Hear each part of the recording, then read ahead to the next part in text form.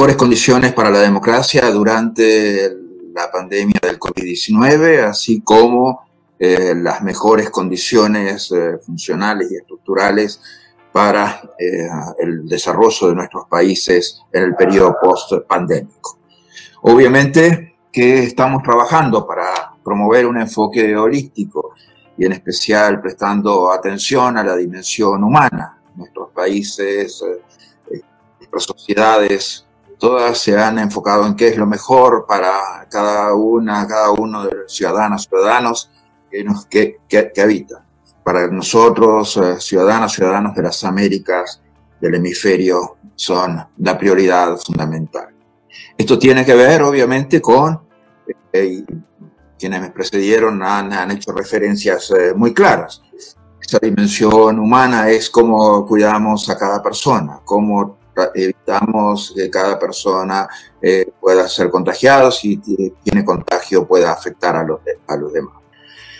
Obviamente hay también una dimensión social, una dimensión eh, social que, como señalaba Binet, en nuestro hemisferio tiene que ver con la pobreza, con la desigualdad, eh, con la pobreza extrema. Obviamente que tenemos condiciones de vulnerabilidad y sensibilidades que son eh, muy fuertes en nuestro hemisferio lo tanto las dificultades son mucho más duras que para sociedades más eh, sociedades desarrolladas.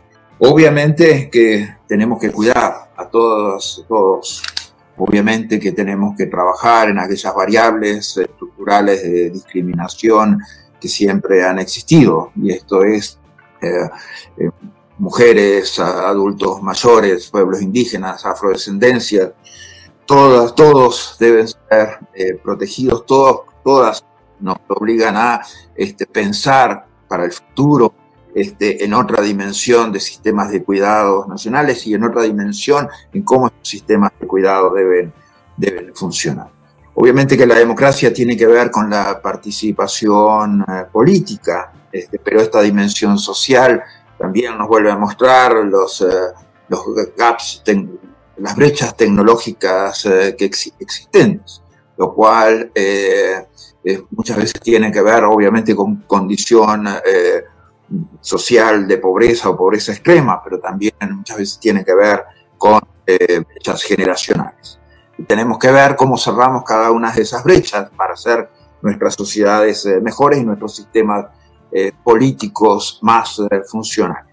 Tenemos que atender la vulnerabilidad que surge de la situación de la migración. La migración es uno de los sectores eh, definitivamente más eh, vulnerables en estos casos, porque los, eh, migrantes, la población migrante generalmente está más expuesta al hacinamiento, está más expuesta a no tener documentación que le permita acceder a sistemas de salud, a sistemas de cuidados. Y que eso definitivamente no es aceptable. Cada persona cada migrante tiene eh, los mismos derechos económicos, sociales, culturales, civiles, políticos que cualquier persona, que cualquier ciudadano o ciudadana en nuestro hemisferio.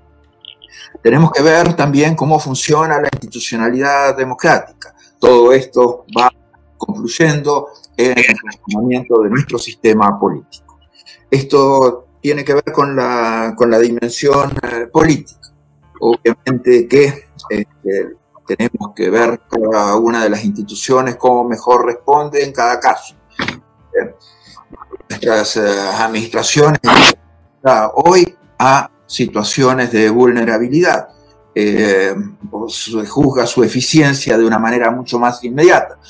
Tienen que dar respuesta de una manera más inmediata. Han tenido que reacomodar, reasignar recursos de una manera muy rápida para atender esta, esta pandemia, para la cual no había nadie preparado, no había sistema de salud preparado.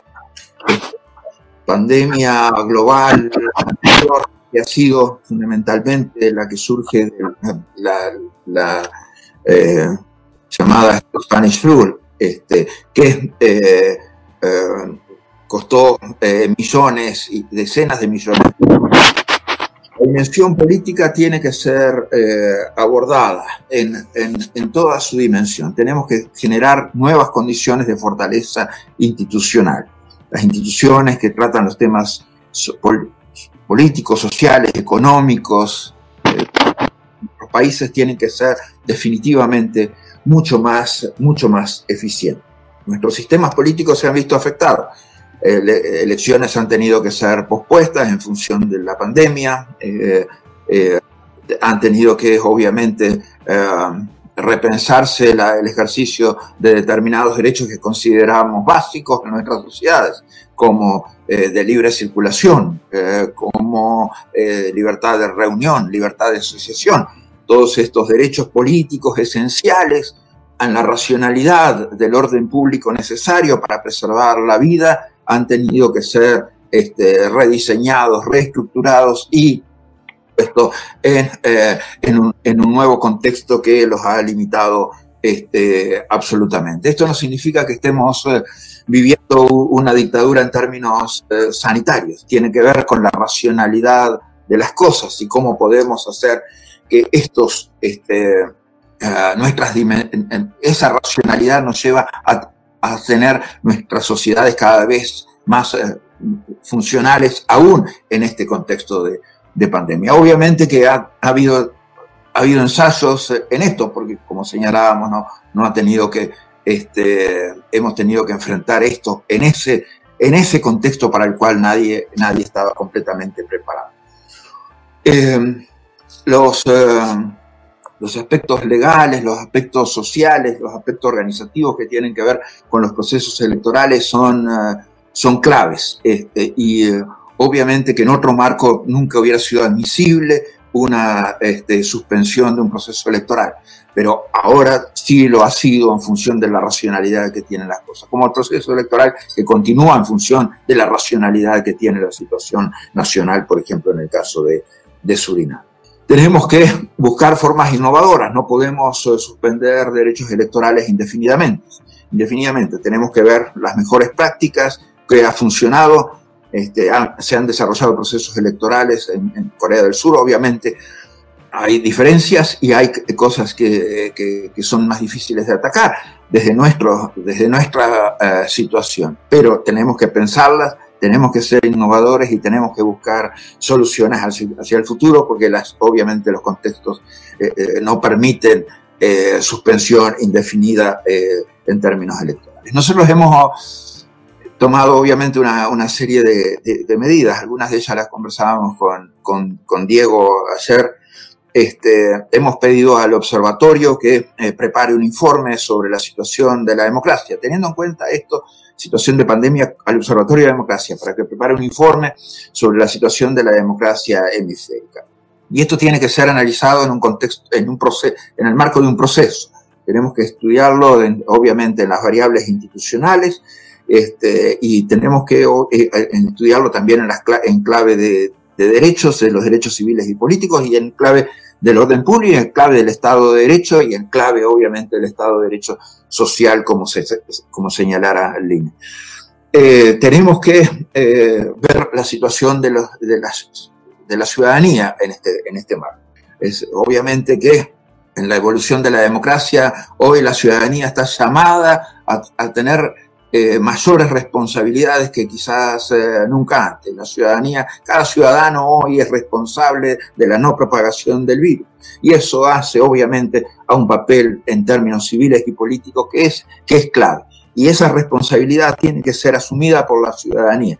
Y nuestra ciudadanía tiene que estar cada vez mejor preparada para asumir esto. O sea, cuando hemos visto las mejores respuestas en términos este, de lucha contra el COVID-19, tienen que ver con esa este, capacidad de la ciudadanía de asumir la responsabilidad.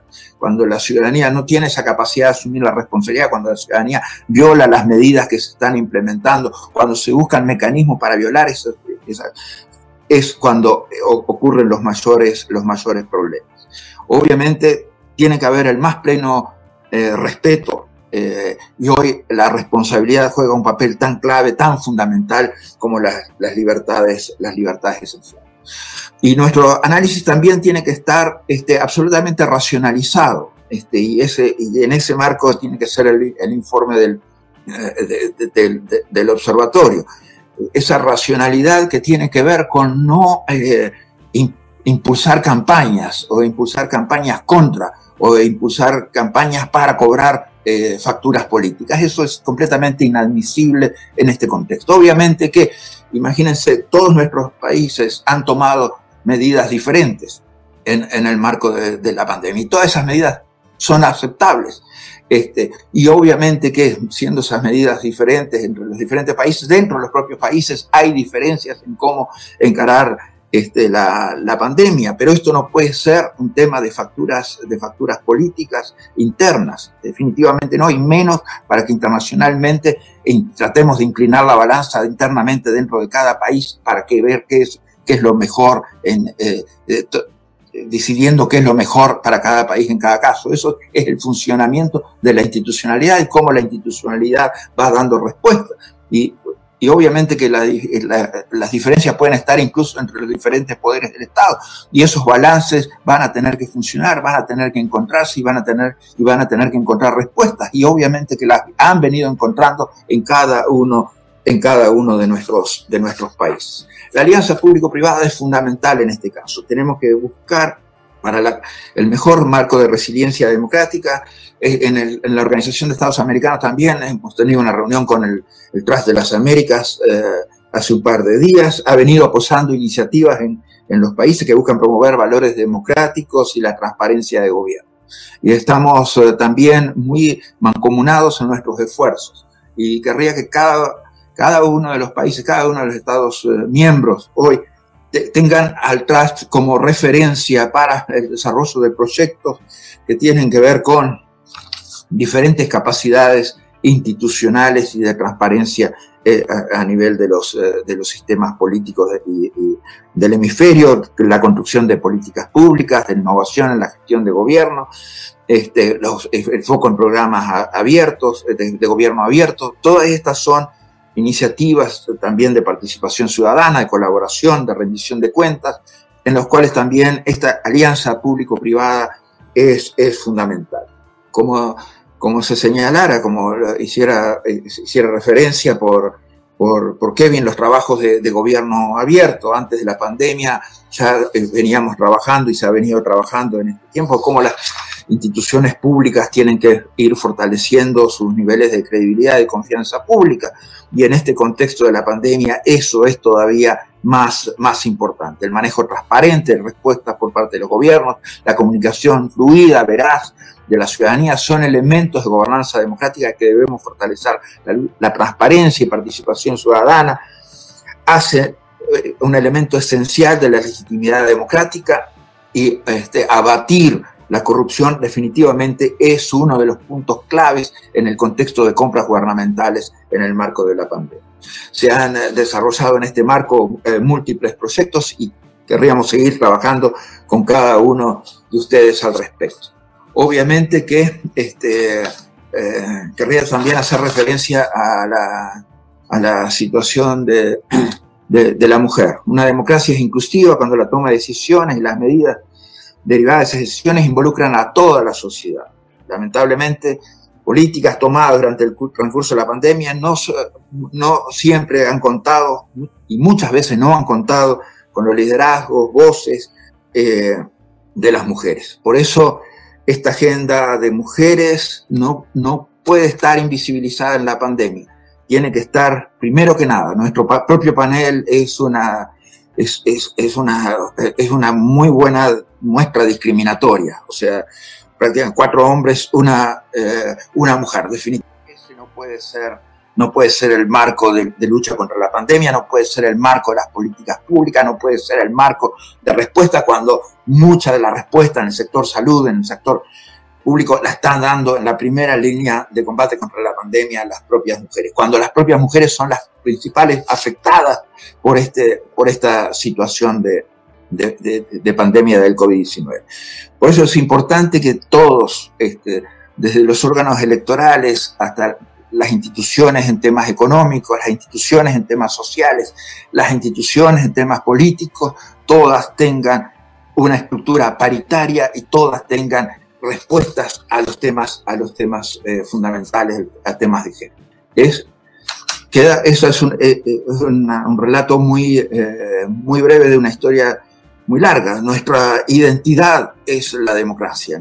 Nuestro, la mayoría de nuestros países, prácticamente casi todos nuestros países, salvo algunas excepciones que, a las cuales la democracia llegó un poco más tarde, nacieron a la vida independiente y nacieron a la democracia al mismo tiempo. Por lo tanto, la democracia forma parte de nuestra identidad y debemos siempre bregar porque esa identidad, esa identidad democrática que tenemos, sea cada vez más fuerte, sea cada vez más vigente y sea cada vez más válida a nivel internacional.